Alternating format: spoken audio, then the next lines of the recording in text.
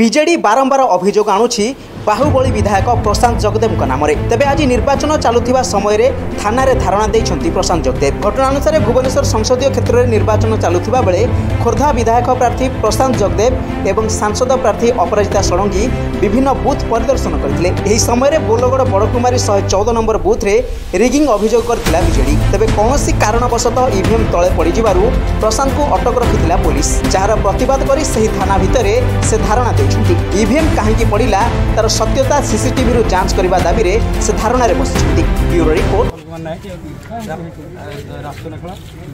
ପାନନଗର ବୁଥର ଆମେ ଭୋଟ ଆଉ ଯେଉଁ ବୁଥକୁ ବର୍ତ୍ତମାନ ଖୋର୍ଦ୍ଧାର ବିଜେପି ବିଧାୟକ ପ୍ରଶାନ୍ତ ଜଗଦେବ ମହୋଦୟ ଆସିଥିଲେ ଭୋଟ୍ ଦେବା ପାଇଁ ସେ ଆଗରୁ ବିଗତ ପୂର୍ବରୁ ଯେତେବେଳେ ସେ ବିଧାୟକ ଥିଲେ ସେତେବେଳେ ସେ ବୁଥର ଭୋଟର ତେଣୁ ସେ ଯେତେବେଳେ ଆସିଲେ ଭୋଟ ବୁଥକୁ ଗଲେ ଭୋଟ୍ ଦେବା ପାଇଁ ସେତେବେଳେ ସେ ଭୋଟ୍ ବୁଥରେ ପଶିବା ସମୟରେ ଯେହେତୁ ସେ ଭି ଭି ଆଇ ବି ସେ ଆସିକି ଆଗେ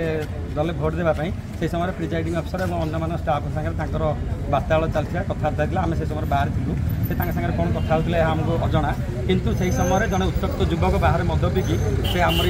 সেই লোকাল পিলা সে দুই তিন জন মদ পিকি মা ভৌণী সোদাসুদি করে গাড়ি করে এমএলএ যে তুমি কাইকি বিধায়ক প্রার্থী তুমি কাইকি ভিতর বসলে তুমি কম মুন্ডি এমনি সেমতি করি অবাধ ভাষায় গালি গুলজ কলে এবং গাড়ি গুলজ করে উত্তেজনা পরিস্থিতি সেটি সৃষ্টি কলে এই সময় যেতবে তা ভিতরে উত্তেজনা পরিস্থিতি সৃষ্টি হল বিধায়ক যাই সেতু ଯାଇକି ତାଙ୍କର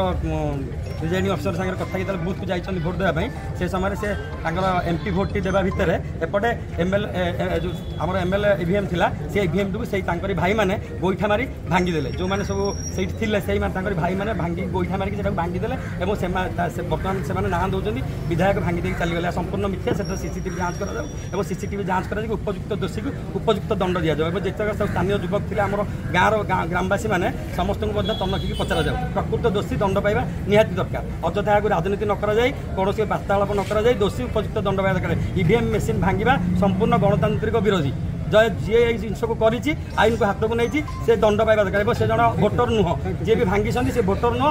ଏମାନେ ଭିତରେ ଆସିକି ଅଯଥା ଡିଷ୍ଟର୍ବାନ୍ସ କରିଛନ୍ତି